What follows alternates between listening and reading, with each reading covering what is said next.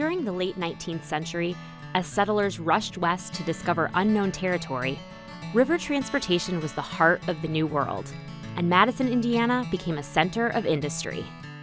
We're midway between Cincinnati upriver and Louisville, Kentucky downriver.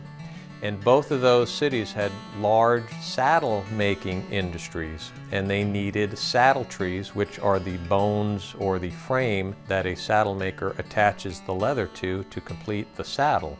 There were 12 or 13 saddle tree factories in Madison and they were producing upwards of 150,000 saddle trees per year and shipping them, as far as we know, worldwide.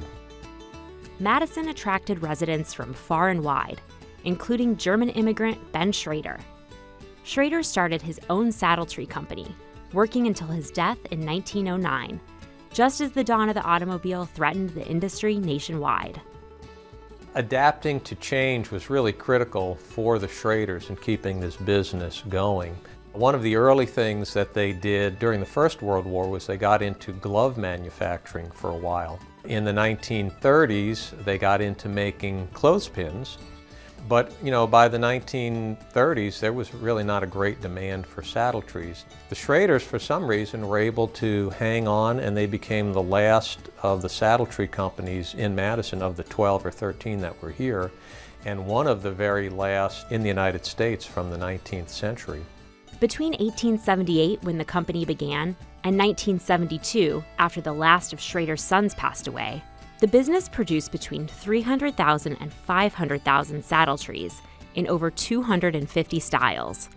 When I first walked into the factory, I felt like I was walking into King Tut's tomb because it felt like the Schroeders had just left. There were shop aprons still hanging, there was a lunch pail by a machine, saddle tree parts that were cut 20, 30, 40 years ago were still sitting next to their machines. The original sawdust was on the floor.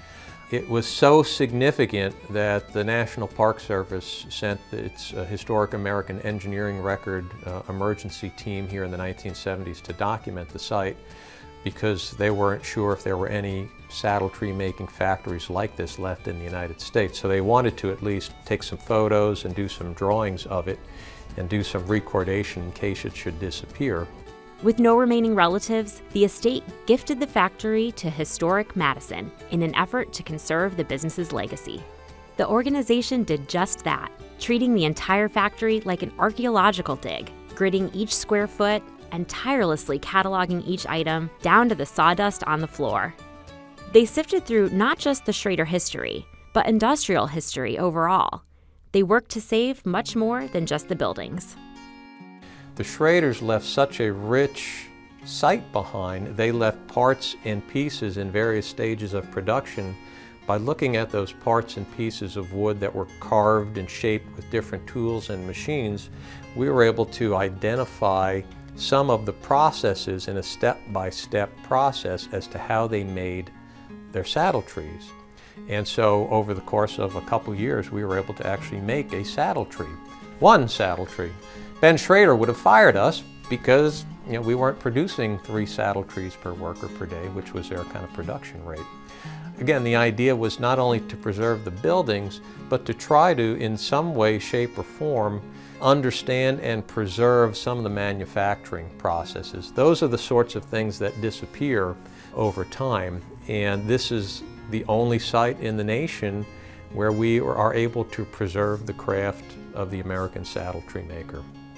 Usually when you go to a museum or a historic site, it's the history of the rich and famous. Schroeders were neither rich nor famous. They were middle class business people with a small factory out in their backyard.